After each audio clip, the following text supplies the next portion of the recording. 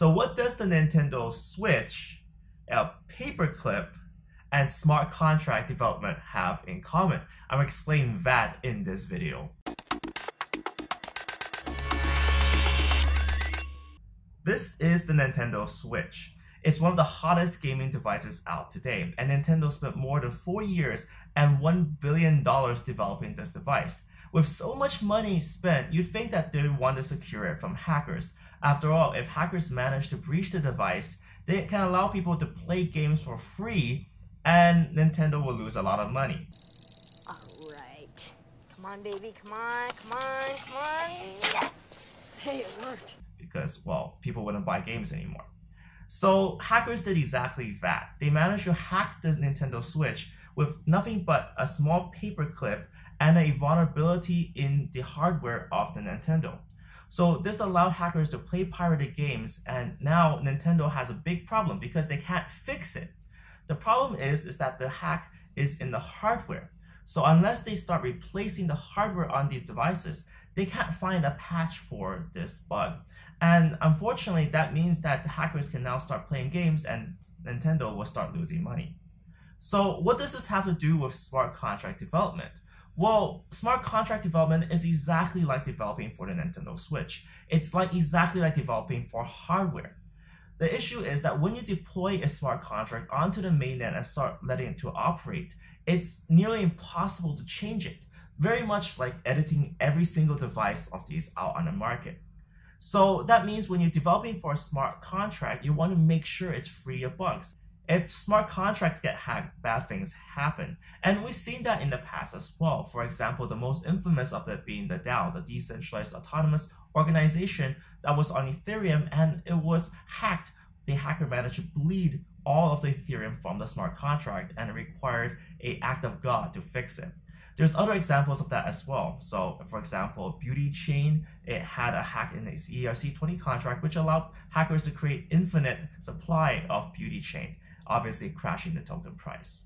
The reason hackers can do this is because unlike code for software development or even software development, this code cannot be patched. It can't be fixed at a later time once this bug has been developed.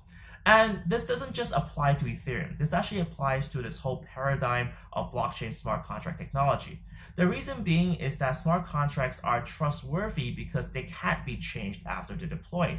So you can trust that the original creator of said contract won't change the terms on you.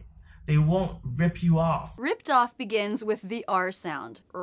Er, er. If that is the case, then the smart contract creation process has to be very precise. It has to be free of bugs. And it can't just be like, oh, it works, it's fine. Just like how the Nintendo Switch, it works, it's fine. It's now, it doesn't mean it be free from hackers. There might be small procedures or small functions that are vulnerable and that can lead to a whole system failure.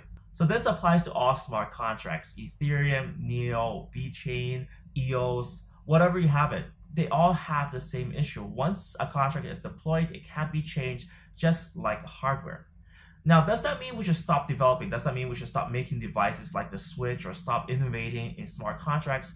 Definitely not. It's just a hurdle that we have to overcome.